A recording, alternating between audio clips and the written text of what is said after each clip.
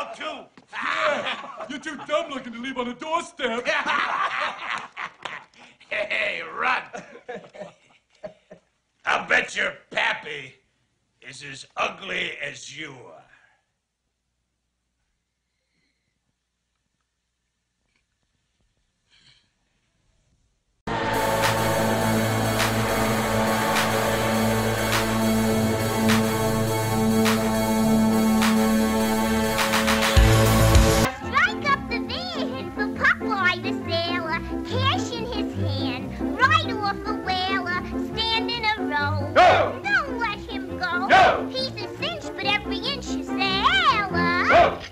Hey everybody, Kaze here and welcome to Flicks and Foods. Today's episode, we're going to look at the Robin Williams classic film, at least it is to me, Popeye the Movie.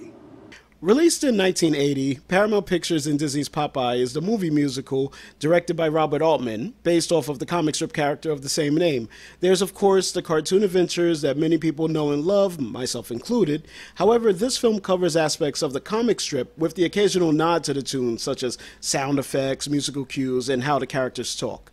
The plot centers on Popeye, played by the late great Robin Williams, a one eyed sailor with stunning super strength who arrives in the town of Sweet Haven in search of his missing father, Poop Deck Pappy, played by the late Ray Walston. He rents a room from a family called the Oyls, a colorful group of characters where he meets the daughter Olive Oyl, played by Shelley Duvall, who is in the middle of planning her engagement party to Captain Bluto, who's played by the late Paul L. Smith a man who runs the town for the mysterious Commodore, and that Olive, along with everyone, points out is that, well, he's large. large, large, large, and also has super strength. Popeye encounters adventures in Sweet Haven, such as getting into a fight with these toughs at a diner who is mistreating the patrons, well, some of them.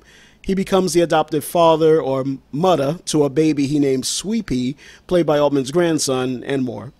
Will he find his lost father? Will Olive Oyl treat him nicely as opposed to her saying, and I quote, You make me sick, as well as stay out the way of Bluto's wrath? Nah, come on, what do you think? The cast, in my opinion, is perfect. This was Robin Williams' first film role and my first memory of him when I was a kid. So I fell in love with how an actor could capture the look and sound of one of my favorite cartoon characters. You can tell he wasn't just like doing this as a gig and appears to have fun with it. And despite his voice, he's not doing anything over the top, and it's easy to sympathize with during some of the more tender moments. Bunch of carrots. No, no. You ain't got no carrots? What are those, prude? You got a room for rink? What? For what? Rink. Rink. Your sign says you got a room for rink. You know, it's one thing I ain't got. It's a sense of humor. Where did you get that uh, pronunciation? Shelley Duvall, as others have said, is the perfect Olive Oyl. And despite the first time I ever saw her was in the uh, fairy tale theater show that I think used to come on Showtime, Hello, I'm Shelley Duvall. Welcome to Fairy Tale Theater. this is a performance I defaultly go to when she pops up in my head. I know others may say The Shining, and I get that. However, she just like rocks it with this performance. Uh, Paul Dooley as Wimpy, who as an adult now is one of my favorite characters from the cartoons. He always puts a smile on my face for his facial reactions and comedic delivery. He really does capture the essence of how the character was, sometimes a little sneaky without being an outright villain. Paul. Smith as Bluto is a joy to have in this role. I feel his first appearance on screen uh, just could have been a little better. He just shows up out of nowhere, breathing heavily, going, and yelling the town, curfew! And it's later, it's a better build up of him just like mainly quiet before we see him really let loose. Ray Walston as Poop Deck Pappy is a scene stealer. He shows up in the third act, and his dialogue and lines is great. Me and one of my friends always would quote his lines whenever discussing this movie. Why, they're just smaller versions of us, you know. But I'm not so crazy about me in the first place. So what do I want one of them? So the visual look of this film is amazing. The town of Sweet Haven has the perfect mix of being cartoony yet believable. Transforming one of the real-life islands of Malta into this town is remarkable. So much so that it's still standing and was turned into a tourist attraction which they do performances and many more. One of my bucket list items is to visit there sometime. Uh, Harry Nilsson provided the music and wrote the songs. The score has a very orchestrated, uh, theatrical, animated feel to it, especially during any of the fight scenes.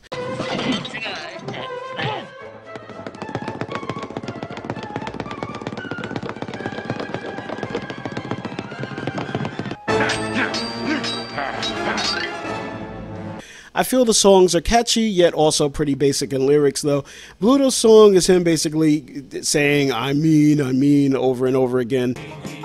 You know what I say. You know what I mean.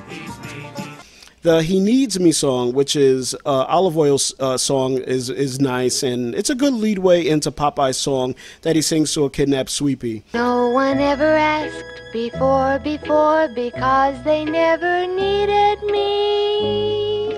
But I do. But he does. Go to sleep, sleep, sleepy. Now tell me what you see. And someday when you're older, I'll tell you all about me. My absolute, absolute, my absolute two favorites though, I gotta say, are the uh, "I Am What I Am" song. It has a great build up, and the lyrics capture a lot of the sayings that a real life Popeye would say.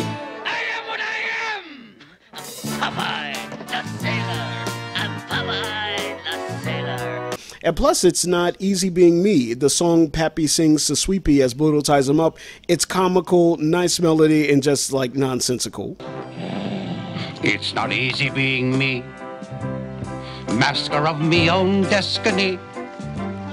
And I hates responsibility. Ah, it's not easy being me. Shut your lip and open your mouth. If there is anything negative that I have to say about this movie, is, uh, well, except for the parts that I mentioned about the songs, is that the climax just could have been better. Now, I'm going to go into some spoilers, so be prepared.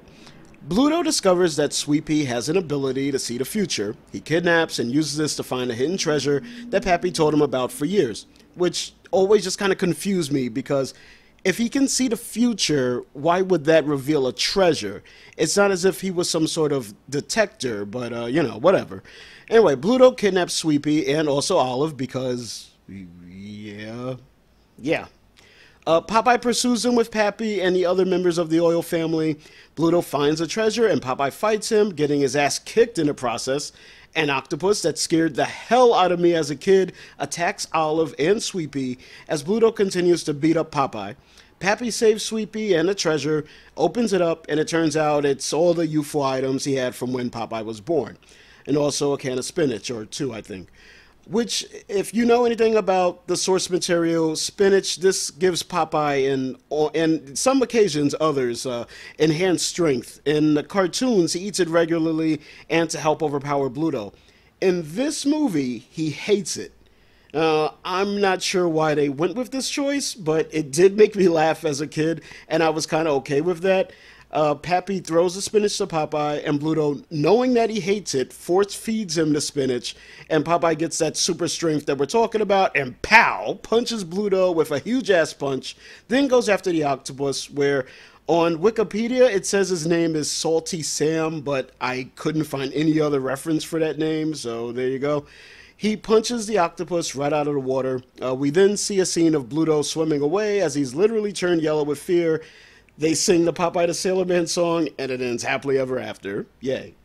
My problem with all of this is the trouble that Bluto does. It's only one punch for the full length feature that gains a victory. We see Popeye fight the toughs in the diner, a huge ass boxer named Oxblood, Oxheart, which I thought was Butterbean when I was younger, and even the octopus with probably like eight hits. These fights last longer than a climactic battle with the big bad. Uh, in the cartoons, we see Bluto take like multiple hits, and it usually ends with some kind of, you know, funny, demeaning outcome. But this one punch, even as a kid, it, it always bothered me. And I mean, it is pretty funny seeing him still swimming away as the credits play, but you know, come on, man. Despite the problems, I feel this was a passion project, and aside the situation of Popeye not liking spinach, the production team knew some important aspects from the source material, especially the comic strip. This guy here, played by actor Bill Irwin, is Ham Gravy, who in the comics was uh, Olive's original love interest slash fiance until she had left him for Popeye. I didn't realize this until doing research for this video. I always wondered why he looked so nervous and was muttering to himself. Apparently, she left him for Bluto in this version, which is why he is saying at her engagement party how uh, this was one of the worst days of his life. Uh, small details like that aren't necessary, but you know, damn it, I, I appreciated it.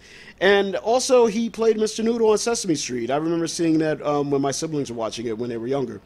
I think that if this movie didn't have the production problems it had, uh, starting with this originally coming together because the studio wanted to do a film version of the Broadway musical Annie before discovering they had the rights to Popeye.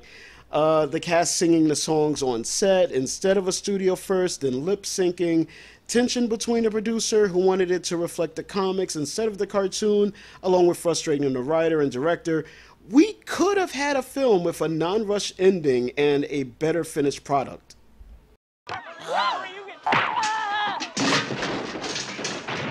Oh, Mommy, I'm sorry. Oh, I'm sorry. Where do I send the flowers? My rating for this is a personal 9 out of 10 for my nostalgia and appreciation for the production value and the casting. However, I will give this a general rating of a 7 out of 10. I feel that the general public would be put off on this, especially some younger viewers who may not have a clue as to who these characters are. I doubt Popeye cartoons even air anywhere, if not on YouTube or possibly some streaming service. I really wish that Genndy Tartakovsky's animated film actually got completed and released because it just would bring the character back to the public eye. Plus, it looked fucking great.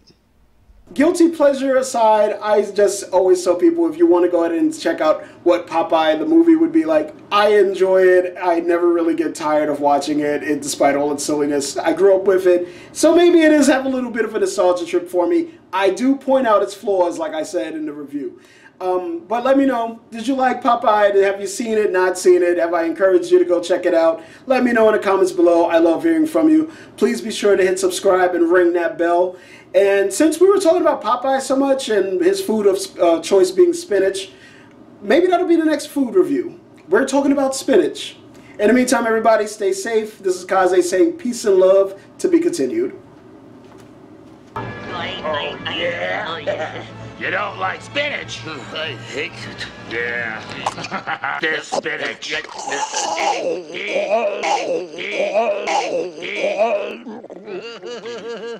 But I said. Whoa.